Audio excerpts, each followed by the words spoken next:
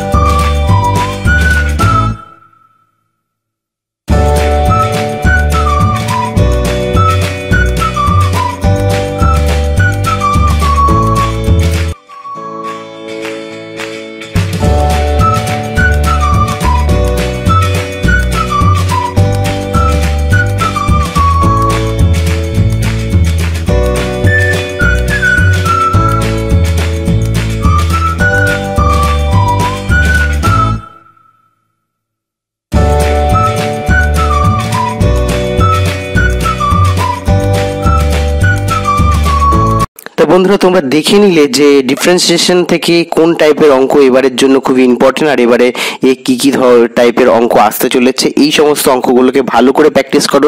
যদি কোনো অঙ্ক করতে প্রবলেম হয়, তাহলে আমাকে কমেন্ট সেকশনে কমেন্ট করো। আমি রীতিমতো সেই অঙ্কটি ভিডিও একটি ভিডিওর মাধ্যমে করে এ তোমাদের পাঠিয়ে। তো বন্ধুরা আজকের মতো এইটুকুই। আবার দেখা হচ্ছে এইচএস ম্যাথমেটিক্স সাজেশন দু হাজার উনিশের অন্য কোনো পর্বতে। আর বন্ধুরা তোমরা যদি এখনও পর্যন্ত লাইক এবং সাবস্ক্রাইব বাটন প্রেস না করে থাকো তো লাইক বাটন আর সাবস্ক্রাইব বাটন প্রেস করো। ও কেননা আমি এই, ধরনের ভিডিও প্রতিনিয়ত আপডেট করতে থাকি। আর সাবস্ক্রাইব বাটন প্রেস করার সাথে সাথে নোটিফিকেশন বাটন অন করে দাও তাহলে সবার আগে তোমাদের সাজেশন তোমাদের কাছে চলে যাবে। আর বন্ধুরা এই ভিডিওটি যদি এখনও পর্যন্ত শেয়ার না করে থাকো তো বন্ধুদের সাথে শেয়ার করো। ও কেননা তোমাদের এর যত ও লাইক বাড়বে কমেন্ট বাড়বে, তত ও, আমি ভাববো তোমরা ইন্টারেস্টেড এই টপিকটার উপরে তত ভিডিও বানাতে আমি উৎসাহী হব। তো বন্ধুরা, আজকের মতো এইটুকুই। পরিবারের সাথে সুস্থ থাকুন, আর দেখতে থাকুন, আর শিখতে থাকুন লাইভ গ্রোতে